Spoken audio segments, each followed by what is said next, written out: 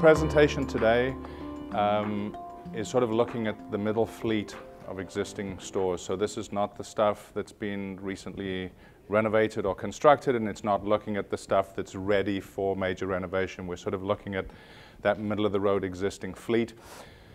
We're going to talk about um, the, the opportunities as well as the opportunity to finance um, some of the opportunities that um, exist from an energy efficiency standpoint. I'm going to hand that piece off to, uh, to Nick when we get to it. Um, so we thought for anybody who wanted to just rush out and say they'd attended the presentation, we begin with a little executive summary of what you're going to learn from all of this. Um, but essentially, we're going to be talking about the energy opportunities, that journey to energy excellence. Um, we've got a couple of uh, case study example pieces at the back end on some projects we've worked on with Emerson. Um, and the middle piece will be Nick talking about um, the history of ESCOs and the market and the opportunity in uh, grocery stores. Um, a few different pieces to start off with. First of all, some industry highlights just to kind of set the scene on that piece. Then uh, how to do your journey to energy excellence, um, the ESCO, and then those examples, as I said. So starting with some industry highlights, this is probably not new to everybody. There's a lot of this information out there from various different groups, but you know, the, uh, the key to all of this is that we're talking about a $682 billion industry that's only making just over 1% of, uh, of after-tax profit. Um, there are 38,000 locations. Mean store size, about 41,000 square feet. Average store uh, size, um, sorry, the median store size about 41,000. The average is about 50. The pressures on the industry, it's talked about regularly. Um, margins are thin. There's a lot of e-commerce coming in. Um, there's talk about European discounters wanting to enter the North American market, and there's a move for reducing uh, debt on balance sheets. From an energy standpoint, um, not sure how familiar people are with just how energy intensive grocery stores, supermarkets are, um, but they rank right up there in the community, uh, maybe only outpaced by ice rinks. Um, $4 a square foot from an operating cost, that's a combination of 50 kilowatts a square foot for um, the electricity side and about 50 cubic feet of natural gas per year. Um, that means your average 50,000 square foot store is consuming something in the order of 200,000 um, dollars of uh, utility cost. And um, Energy Star and uh, NREL have both done various studies on this. Um, the combination of HVAC and refrigeration can represent as much as 70% of that cost. And there's an opportunity for about a 30% plus or minus reduction in that space. So what that ultimately means is it's a significant reduction in cost. And when you consider that a dollar of energy savings equates to $59 of added revenue, tens of thousands of dollars of energy savings equates to hundreds of thousands of dollars of additional sales. Put those two pieces in perspective. Again, talking about the opportunity, so if you take those 38,000 stores at their 50,000 square feet and the $4 a square foot for energy, we're talking about an average energy cost per year of about 7.7 billion. Looking at the reduction, there's an average energy saving of 1.6 uh, billion dollars. That's that interest piece now for um, essentially being able to bring financing into all of this. So over a seven-year finance contract, there'd be $11.5 billion of savings that are achieved. And looking at an average of, say, a $75,000 cost for um, store upgrades, $2.89 billion worth of business opportunity to be done. The next piece is to talk about the journey to energy excellence, what it is and how do you do that. Challenges and opportunities in the space. I think lack of actionable data and the focus on business as usual is probably the piece that drives the biggest opportunity in all of this. Um, a lot of the, um, the process around who does this, who executes on it, is it a maintenance activity, is it a construction activity, that poses challenges as well. Um, accessing capital, we see on a regular basis, we're told capital is not an issue until you're trying to move a project forward and it's delayed a year or two because of those complex internal approvals that are necessary. Um, so all of this leads to the, that opportunity for a turnkey solution that includes a finance package. It uses the current vendors who service a location. So you build the opportunity, you work with the existing hands-on people, you provide the financing with guaranteed savings. It's a package that's been offered in many other industries. It doesn't exist today really in food retail. Effective and efficient, the two sort of words that uh, play a big part in all of this. You'll see as we move along a little bit here. So from a definition perspective, um, capacity, um, sorry, effectiveness is your capability to deliver what you need to deliver, basically. So more commonly, does it make cold, since most of the energy is in cooling and refrigeration here? Yep, we're great. From an efficiency standpoint, this is, you know, how do you get maximum efficiency um, with the least amount of effort? So um, rolling the ball along, same amount of effort, you're getting further ahead. The reality, though, is I don't know, I don't care, just leave me alone. Energy is still a piece that is not talked about. Um, the efficiency, the focus is, is rightly on effectiveness because it is about maintaining temperatures and being able to make sure that, that the, the food um, um, quality is maintained. But you can still do that and be um, energy efficient as well as effective. So the discussion on that stems from this is looking at energy efficiency against time. The little black dot represents the start of a particular concept. It could be the renovation, the construction, could be a system, could be a whole store. Um, but at that particular point in time, there's an efficient technology or the most efficient technology that exists. You then go through a design and a procurement and an installation and adjustment and ongoing maintenance. So today you end up with still an effective system, but you've already lost some of the potential for energy savings that existed in what you picked at the beginning. Now, the opportunity to get some of that back exists through doing optimization and doing recommissioning work. We could also have discussion about doing a complete retrofit, removing everything that's in there and putting in the very latest technology um, which may have much better controls and electronic valves and all of the things that the industry has seen developed um, over the last years. The more common reality is that there are just some capital upgrades that can be done as well that improve the operation of the system um, so you get part way to the best technology. And the last piece to all of that is then some sort of ongoing performance monitoring because you want to make sure that you don't end up degrading those savings that you've achieved over a period of time. So to now talk about the opportunity um, for the reduction of energy. So if you take time and the consumption, we sit today at the top. The first step in this journey to energy excellence is your baseline. You've got to be able to understand what you're currently using and help identify what the opportunities are, what the hurdles are that you potentially have to get through. It also helps develop that ESCO contract because you're now looking at what the baseline is, what the target is, and what the costs are in between. Usually the next step in it is to look at refrigeration since it's the biggest chunk. Um, so this could be new controls, it could be VFDs, um, floating head, you could be looking at the cases, um, case controllers, um, and then some of the new opportunities that have been talked about today, whether you can get into some of the thermal storage or, storage or batteries um, as well, because here we're talking about combining effectiveness and efficiency together. Next opportunity, of course, HVAC, again, VFDs, demand control ventilation. So, you know, what's your current setup? Um, are you over ventilating? Uh, it's, a common, it's a common occurrence uh, that, that we over ventilate everything. Um, lighting may not be step four because it may already have been done. Sometimes that's the low hanging fruit that's been done, but of course it's not always the case.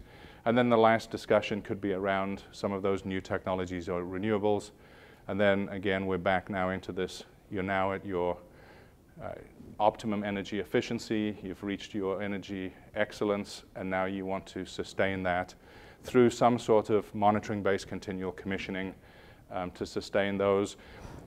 Part of this discussion as well is the, the, the asset life, um, the, the opportunity to predict failure, prevent failure. All of those things are often not talked about because they're not tangible, they're not measured. We, we often talk about ROIs being strictly based on the energy saving that's been created, but often when you're creating that energy saving, there are a whole number of other benefits that come from it. How do you get baseline? Um, again, there's been a lot of discussion in this space. Um, this is just one example, but the ability to log data is becoming extremely easy to do and very cost effective. Um, energy data is one of the things that you need, and ideally you need to be moving to granular data where you're looking at the actual devices. You're not necessarily looking at the utility meter. Um, it doesn't get you enough um, information quickly enough to start to realize that some of the things you're doing are actually having a benefit. And if you can't sustain the excitement about where you're driving to, sometimes these things kind of lose, um, lose momentum. Once you've got that energy data, what are you going to do with it? Um, there are a couple of things that are important. One is a weather normalized power profile. So a weather normalized power profile is creating essentially what is your kilowatt hour consumption at each ambient condition that is occurring. Um, so you know that at each degree um, that's occurring, if you measure your kilowatt hour consumption and you continually average those, you can produce a fairly accurate power profile for a system. And that then gives you the ability to duplicate exactly the same data pre and post and be able to demonstrate the difference between the two lines um, is essentially the savings that have been created in the system. And this, again, it's a measured saving in the system. Um, so actually, it's a kilowatt reduction, but the reality is that it's a derived kilowatt, not a measured kilowatt. The other tool that can be used is system efficiency indexing. Um, SEI was developed about six or seven years ago as a collaboration between the VDMA in Germany and the IOR in the UK. Those are their governing bodies similar to, similar to ASHRAE. And what they were trying to do was come up with an independent measure, independent of ambient measure that allowed you to look at system performances. So traditional COPs and EERs being dependent on weather, the number itself has no meaning unless you actually do the calculation to know if your EER of 12 is good or bad, depending on what's happening. When you move to SEI, your SEI should be unchanged regardless of what ambient temperature is at because it is actually the ratio between your theoretical Carnot COP and your actual operating COP. So um, you do, of course, get some degradation as you get to the outer limits of, so as you get to some really high ambience, you sometimes see a little bit of kind of degradation. But we've been finding that a lot of the mid-range performance um, is, is extremely accurate when you use this as a measure. Um, and it allows you to compare two systems um, just by that SEI number. How do you use this? I'm just going to touch on that monitoring-based continual commissioning piece. Um, so one of the opportunities, if you've got that weather normalized power profile, is you can look at what weather occurred in the last seven days, 30 days, or over the last year, and you can take what your consumption at those temperatures are to produce a predicted um, consumption and then you compare that against your metered data, and if those two numbers are fairly close, you know that your system performance hasn't, uh, hasn't degraded in any way, and that you're essentially sustaining those savings. I've got an example coming to, to show this, but here you can see the, uh, in this particular one, this is the predicted, um, done as a calculation off that weather normalized power profile. This is the actual metered data, the difference between the two if it's within an acceptable range, you know that nothing is, nothing's been done to the system. So uh, this is an example using SEI. Um, so here you can see that this is the overall system SEI and the subsystem efficiencies. So I'm going to get an alert because the SEI for the system has degraded. One of the interesting things is that because of how this combined SEI is calculated, I know automatically that the system has a condensing issue because the system boundaries here are what are generating this alert. What's interesting in this example is that at this particular point in time, there were no control-based alarms coming out of the system because it was still delivering the required amount of cooling. So it starts to become that ability to also predict that you've got an issue that's occurring in a system. Now, I can't tell you what's causing this. You know, it, I don't know if it's a fan issue, uh, if it's a garbage bag that's blown up onto the unit, but you do know where to start troubleshooting and you also know when the problem's been corrected. So this is another example of the same uh, information. So you can see here that the annual consumption, it's bang on 100% of what's predicted. You can see that the, between the, the pre and post optimized profiles, the gap's been maintained, energy savings has been sustained um, for the whole course of the year. Other than this small little alert piece here where you can clearly see the consumptions jump back to the old profile. And you can see in the last 30 days that the consumption is up 6 or 7%. Having restored it, last week, the last seven days, it's slightly less than 100% of predicted. All of this relates to that condenser issue that was shown in the previous slide. So it's, it's interconnected. But having this sort of level of, of data and information is what allows you to find the savings, prove the savings, finance what you have to do, and then make sure that you sustain them going forward. Thanks, Darren. So talking about ESCOs, there are a couple of definitions out there, and here we name it energy savings companies. Some other definitions state as energy service companies. It is speaking to the same concept. Here we're focusing on, on savings, so we decided to roll with this one. And when evaluating savings, we need to understand, is there economics that are attractive to enough to the companies to pursue those projects? So McKinsey, who is the global consulting powerhouse states that on average it's about 17% rate of return. So that could seem low, that could seem high, there are ranges around it, but let's just stick with this number for a while. And to determine whether it's good or not, we need to compare it to two things. One is your cost of capital, and the second one is what other investment opportunities are out there. So Finance 101 tells us that if you can make more money than you spend on doing the project, then you should implement the project. But if there are multiple projects out there, how do you decide which one you implement? And we looked at small caps, large caps, corporate bonds, Canada savings bonds. We're from Canada, so we have those, um, and cash. And it's interesting to see how not only energy savings projects are typically um, higher return than most of the other uh, investment opportunities, they're also lower risk. So if I wanted to have something in my investment portfolio, I would definitely consider those type investments. Now, when we switch to talking to end customers, we typically see that statement uh, thrown around quite quickly to make the decision very hard yes or very quick no. So is there payback more or less than one year? And a lot of people make decisions based on that rule. That's very limiting. And when you look at 17% per year return or one year payback, how do you compare the two?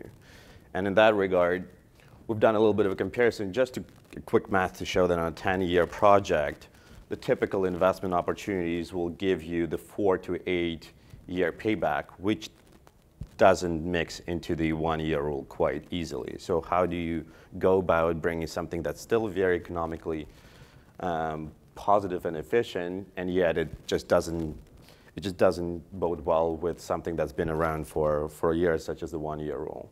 Now, those are the economic reasons, and there are plenty of them to be considered, but there are also other reasons out there to consider energy savings projects. This morning, we've heard about different jurisdictions and how they start and increase the number of regulations, incentives, and goals for the energy efficiency managers. Two weeks ago, UN um, came out with a report that says we've got 12 years to deal with this climate catastrophe that's coming, and that's, that's a pretty powerful statement. But drilling into the micro level, what's in it for me, for the store owners, for the equipment manufacturers, and just like Darren said, the more efficient equipment and, and well-maintained equipment has longer life, and it also reduces the risk of failure, which is, which is a huge component in the uh, supermarket industry. In terms of the barriers to, uh, to implementing those projects, Johnson's Controls done this study a while ago. So it outlines 11 different reasons, and not surprisingly, capital budget is the clear winner there. But what's even more surprising is that out of 11, the vast majority, which is six, are purely financial, and top three are all financial reasons right here. So that brings us to the ESCOs and what they actually do and how they structure to help handle some of those risks and some of those barriers.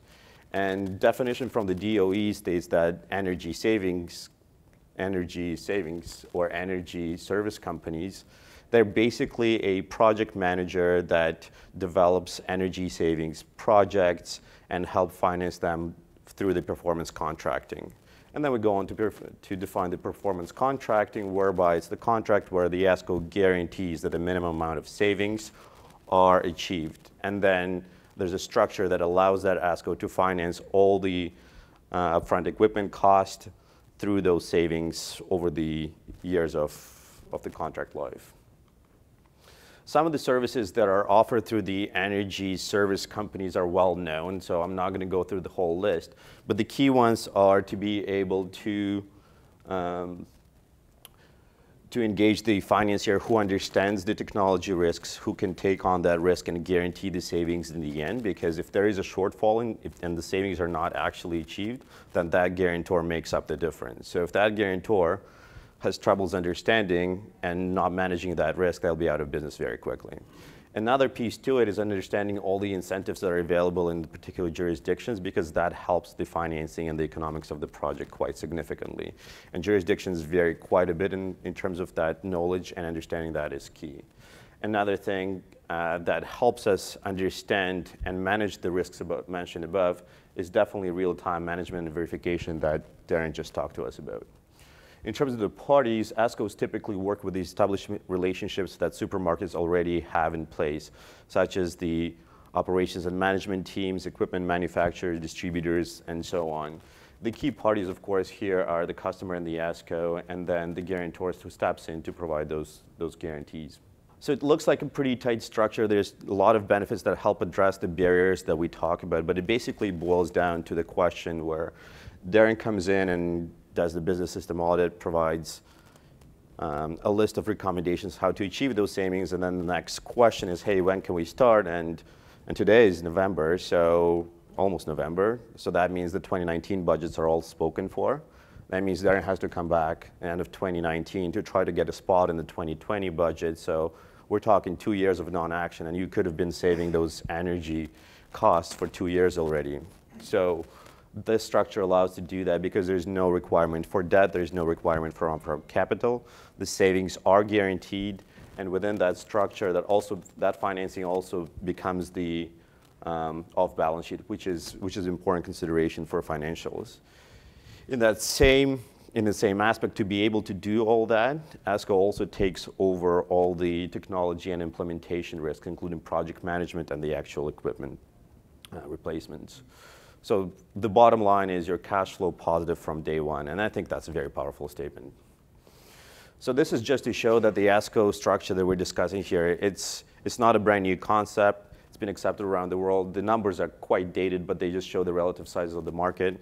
And in the US, the structure has been around for decades, since the 70s, and the biggest catalyst it was in 1992, where the Energy Policy Act authorized government agencies to use private financing for energy efficiency projects most of the ESCOs are operating as a subsidiary of equipment manufacturers, and sometimes that's being handled as well at the utility level in the same fashion.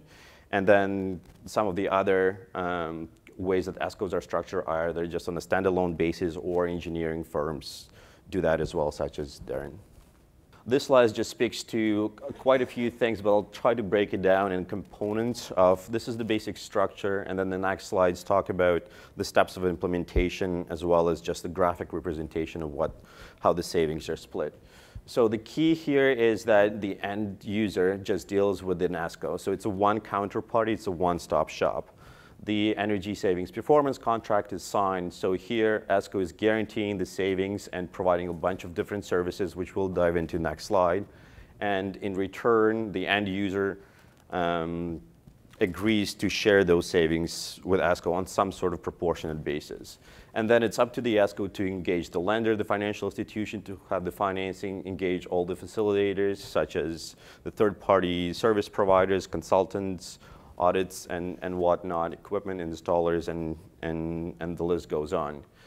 So here are the actual steps where Darren would, or another in, uh, engineering company would come in, would uh, do a business system audit, a building system audit, um, establish management and verification process, collect the baseline data, that would allow him to put together a list of recommendations, and based on those recommendations, the contract is signed between the NASCO and the end customer, so that once the ESCO organizes everything and implements the, uh, the project, the savings starts trickling in. There's a management verification process that verifies that the actual savings have been achieved. Then those savings are being shared between the end customer and the ESCO to pay out all the services costs, including financing. And after the term of the contract is done, then the end customer is left with the same equipment and all, all the project that all the project remains in place and the end customer gets to enjoy 100% of the savings. And this is just the graphic representations of what I've just talked about and the horizontal axis talks about the time versus the energy cost. So first we're starting with this amount of energy costs, and after the project is implemented, those are getting reduced, while the savings which are in green and in red are being shared for the over the contract term um, with an ESCO. Now this graph was just pulled from another government agency, and it's just a representation. It's not, we don't have any figures, we don't have any percentages because a lot of it is customizable per project. So here it looks like, I don't know, maybe 10% is, is getting to the end customer versus 90% goes to ESCO. It could be 50-50, it could be 60-40, it all case-based. That's the, that's the term of the average term of the contract because there's a finance piece in there, so that's, that, that's how the payback gets affected. And as you can see here, there's no spike of initial outlay of the capital, which would increase the cost. So from day one, once the project is implemented, your costs drop right away. So we spoke about how to implement it on the one store basis. One store is great, but we all know that each store is different. There are different locations that uh, imply different cost measures, incentives, layouts, and things like that.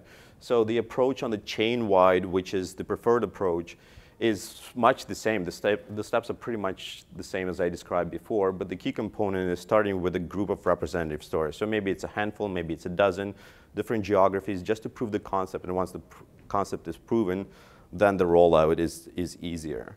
That also allows for standardization of the uh, contractual documents. It's quite heavy document based, or it could be. So to simplify the process, the centralized approach is very much appreciated and, and it allows for economies of scale.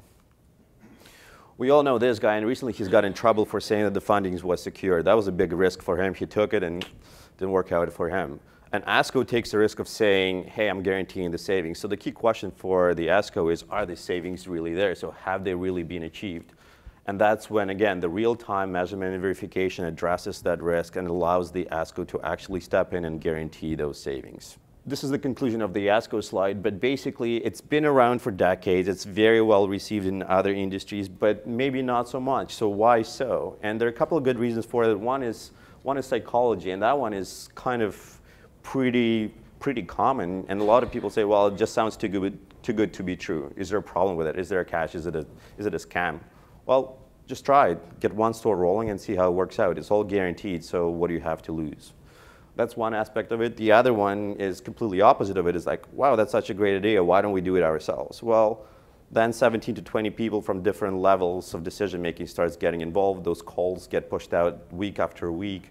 So to get concentrated expertise in each sector that needs to be mastered to put together a program like this becomes a long time horizon and quite complex to implement so that in that regard, it just takes time and there's no action, and that means lost savings. And then the last point here is the product push. Because a lot of ESCOs are based out of equipment manufacturers, then some of the customers could get concerned that it's just another sales tactics. And to that effect, ESCO operates with variety of equipment and service providers, so there's enough choice there to make sure that the correct configuration is presented and implemented. On the supermarket chain, we spoke about the challenges of store-specific details. We talked about how head office decisions could be a bit slow. And then from the financial aspect of it, there's not a lot of financiers that would be able to, to look at that in an efficient manner because typical upfront investment, Darren mentioned on average $75,000. It's not a lot of money. Most people like signing big checks so it's done and dusted. While working with supermarkets and these kind of problems takes a lot of expertise in standardizing the process financial aggregation, which means you take a lot of small loans and small payouts and aggregating into big chunks so it becomes economic efficient. And again, somebody who can do it should be able to do this financial aggregation quite, um, quite efficiently themselves. And on the back end of it, understand the technology that stands behind those savings that drives those savings upwards. And it could be a challenge to, to select somebody who's got both of those things done. And all of that leads to economies of scales, which I think everybody appreciates. So in the end, what ESCOs provide, they're basically a one-stop solution for, for your energy savings at zero upfront cost. Cash flow positive from day one. Uh, I was involved in really hundreds of millions of dollars worth of opportunity in this area. You say ESCO is not widespread. I would say that's not true. Mm. It is true in the food retail market. Right. But in other aspects and other industries, that's an everyday occurrence. It's mm -hmm. everyday business. So I think it's quite interesting that um, I'd like to hear from some of our end user customers why they haven't gone down this path. Because the risk is low. In fact, the risk is zero from that standpoint. Yes, it might sound too good to be true, but it is true. You know, if two companies engage in that process, there is relatively zero risk from that standpoint. It's, it's fascinating because I've seen it work in many, many, many different industries. Right. On very large projects. Tens of millions of dollars for size of projects. But why, why not here? I'm wondering. Not yet, anyway. Yeah, so I think in, in the bottom part of that slide, we hit on a couple of points there. But it's, it's, a, it's a challenge, and I agree with you. I mean, the structure's been around for forever. What if you don't hit your reduction numbers? What happens after the contract period? The company's stuck with something that doesn't meet the numbers you gave them? Well, the, the risk is that it will get apparent right away, and ESCO, if, if ESCO continues to operate, that's not a sustainable business when you're losing year after year a lot of money. So I think something like that would highlight a, I don't want to call it a glitch, but a problem in the system, which either would terminate the project and the ESCO would be liable for, the, uh, for all the difference, or otherwise reconfigure it so that it works in, in the future. I mean, when you take a look at it from a risk, from a pure customer standpoint, Mhm. it's out there to the far right where it's green, Right. because all their costs are covered Right. Yeah. on the center. That's what I was asking about, what happens if you don't meet your targets, then the company assumes risk after the company. The retailer doesn't, that isn't taking on that risk. But they're The stuck with the The ESCO and the finance company, yes. They, they've absorbed that risk. But after the contract period, does the company, if they're not meeting the numbers that they agreed to, they're, they're on their own? I think, I think it's typically addressed throughout those contracts because the contracts are quite specific and heavily negotiated. So I mean, the termination clause and what happens after the contract runs out, I think it's one of the most important ones to be, to be considered. Where do you not look at the age of the equipment? So if you have an old store that has equipment that's, let's say, 10 or 15 years old, do you still go in to that, or do you not go after that type of age of equipment in the store? It all Or is depends. the financing including upgrading new equipment? Yes, it, it is. It, it, it includes the retrofits that would be required to bring that store up to the current uh, optimized solution. We're actually, I love the discussion. We were hoping to answer the questions in the end. So that's good. No, no, keep going. It's good. I mean, I, I've seen ESCOs go in, and whether it's uh, the heating systems that are 50 years old, or the roof, or the window, whatever is contributing to the uh, energy usage, um, they'll replace. that part of it. The bill gets big, the savings may, may take longer, but whatever needs to be done can be included in that, in that process. I think the extreme of this could be an entire retrofit. Exactly. And, and it could still be done under the same model. The reality is that there is a large sector of relatively good, relatively well-maintained equipment that has opportunity to improve it from an operational and energy efficiency standpoint. So that's also part of this. It's, we're not limited to just looking at major renovations or, or you know, big projects. You can essentially pick up the whole gambit across the board from relatively straightforward ones through to much more complex ones. And I think that question answers one of your questions earlier, why not supermarkets? I think it's because of that widespread of different configurations. Stores been around for 15, 20 years versus two or three years. LED lighting is so, so many people do ESCOs on LED lightings. You just swap them out and put the LED ones in. Well, you can't just do that in supermarket, just that's very well you've explained, and with different equipment especially, it becomes more complex. So last piece on this, don't have an awful lot of time here, so I'm going to go pretty quickly through this. And this is just some actual real-world examples um, of uh, projects that we've done. Um, these were projects done um, up in Canada, um, working with Emerson. Um, so initial project was a um, recommissioning for medium and low temperature racks. This is uh, using that weather normalized data. This type of recommissioning work we're typically seeing, it represents something in the order of a 10 to 20% energy reduction. Um, it does involve some focused service and maintenance. This is not necessarily purely recommissioning on set points, et cetera. You may determine that um, you know, there, there is uh, some defective um, you know, pressure transducer that's got an offset, so you want to replace that. Um, this particular um, exercise um, resulted in about $3,500 of expense with the refrigeration contractor for doing some of the actual um, work on site. Um, we created an 18% energy reduction. Um, again, using this weather normalized power profile and the, the energy that's being logged, you can clearly see the, the improvements um, and the sustaining of those. One really interesting fact here was this little blip here and the jump back. This actually was the control system recommissioning that was done on a Thursday and a Friday, and there was a power cut on the Sunday, and the control system defaulted back to the original settings. It didn't save the ones that we'd spent time putting in. And after about a week of work um, on the control side, they figured out what hadn't saved correctly. But it was a good example of traditional recommissioning work without that monitoring-based continual commissioning would have meant that the savings lasted just a matter of days before everything went back to normal. So that's that whole sort of if you're not monitoring this, then you can't ensure that you sustain those savings. That's a key piece in this whole ESCO business because you've got to be able to demonstrate um, quite clearly that you're sustaining savings moving forward in order for the whole model to work and everybody to have the comfort in it. Uh, this is the, the, same, uh, um, the same project, just again showing the actual savings from that weather normalized power profile.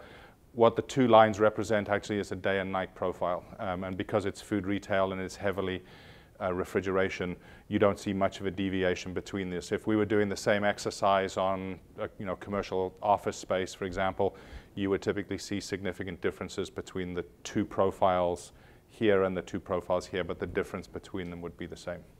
Uh, the next project that we looked at, um, through the thermodynamic analysis that we've been doing on the, the racks, we identified um, on, on, actually the medium temperature and the low temperature rack that there was um, a compressor that was running hot so that was identified as not just a digital upgrade kit onto it, but a complete compressor replacement. Um, so each of the racks then had replacement of one of the, the compressors on the rack. And this is the, the measurement and verification data. So we had 223 days of baseline data and 69 days of post-project data. Um, we achieved a 15.8% energy reduction um, in the store through the, the actual um, uh, ability to vary the capacity on the rack with, with having that uh, digital discus compressor as the lead. Um, what was also interesting was that 4% um, of this actually came from the switch of the compressor. So before we activated the solenoid, we ran it first to see what the difference was between that failing old compressor and the new compressor and then enabled the, the digital piece. So um, this number, that's why we're talking about 10 to 16% here, because depending on the condition of the equipment that you're upgrading, you get a variance in that piece. Uh, one of the other ones is the, uh, the adiabatic cooling. Um, I'm sure lots of you have seen garden hoses and sprinklers on roofs in the middle of the summertime. Um, we see marginally sized units. There's a lack of maintenance on those, those particular units. Um, but there's a significant amount of energy waste associated with it, particularly in the water. So running those hoses that are just sort of spraying everything and wetting the roof um, doesn't do a particularly great job um, for actually improving the performance of the condenser. You're getting wet areas and dry areas. Um, so in this particular instance, we uh, installed some misting nozzles um, in order to control um, the need for this adiabatic cooling. Um, we essentially set um, a contactor on the sixth fan so um, that it, we didn't want the misting system to be running if not all of the eight fans were necessary. And we set an ambient of 73 degrees. So if ambient was above 73 and six fans are running, the misting system uh, would then operate. Um, what was interesting from this was that uh, the, the water savings are huge. To put this in perspective, an Olympic-sized swimming pool is 2,500 cubic meters of water. So running that garden hose from June to September or May to September or October or even into November or December if you forgot to turn it off and froze your roof, uh, massive amounts of water and water is one of those um, uh, utilities that is continuing to rise. We're typically seeing, you know, 8, 10% rise in cost of, of water. You're also typically paying sewer charges for that water. So you're picking it up twice because it's, it's being assumed it's going down the drain and it's not. Um, also, obviously, um, if the condenser is performing better, the system performs better. So we had also recorded a 2,500 kilowatt hour per year saving. But essentially, this one comes from uh, the water savings in the system. And it's, uh, you know, there's a lot of interesting concepts on how you, how you use all of these various, you know, technologies and when do you use them. Um, and a lot of opportunity lies in there's a, there was a problem that was that occurred and somebody came up with some type of solution just to keep it working but there's often a much better way of doing it if you can invest enough time and, and effort to research that. Uh, the last one, this was um, single 10 ton um, packaged units um, on a distribution center. Um, so this particular project involved um, electronic valve, VFD on the condenser fans and on the compressor. Um, and that allowed the uh, condensing temperature to be re reduced from 95 to 60, so essentially floating the head um, outside of the, uh, the peak days. Um, believe it or not, this is a 48% annual energy reduction. Um, just huge energy savings. And this was replicated on a multitude of units. This, this data is just for one of them. Um, but these are the sort of opportunities that exist. And it actually took doing a unit and measuring all of the information to get the client interested in doing this. The, the pushback and the pushback of those savings aren't real went on and on and on. And it wasn't until this, this initial unit was done that the decision was made to do all of them, and the project then rolled into, a, I think there were 46 units that were, uh, that were ultimately retrofitted with savings in the 20 to 50% or close to 50% range. Um, and then this is just one last slide. So of those first three projects um, together, uh, this is looking at that weather normalized power profile. So this was the original baseline. And then using bin data, you can project out the balance of that. Um, and then this is the, uh, the low temperature after the VFD has been put on. And this is after the recommissioning. So you can see we went from here to here with recommissioning and here with the, um, with the variable capacity on the compressor. And again, the last piece, sustained savings. So uh, 30 months um, of sustained savings. No, no significant deviation. I mean, you see things here where stuff's offline, so you, there, there's sometimes a little bit of deviation. But essentially, the old profile to the new profile is, is continually sustained because any deviation gets alerted to. So in conclusion, we've talked about this. The opportunities are real. The savings are real. Um, we're not doing anything that, that is really groundbreaking. This is not new technology. This is proven technology that you can actually utilize and implement in your systems. The ESCO part means that there's no upfront cash necessary. So we're now in a position to do this essentially as a turnkey with your preferred equipment supplier, with your preferred contractor, um, and without needing any money, so you're cash flow positive day one. Thank you.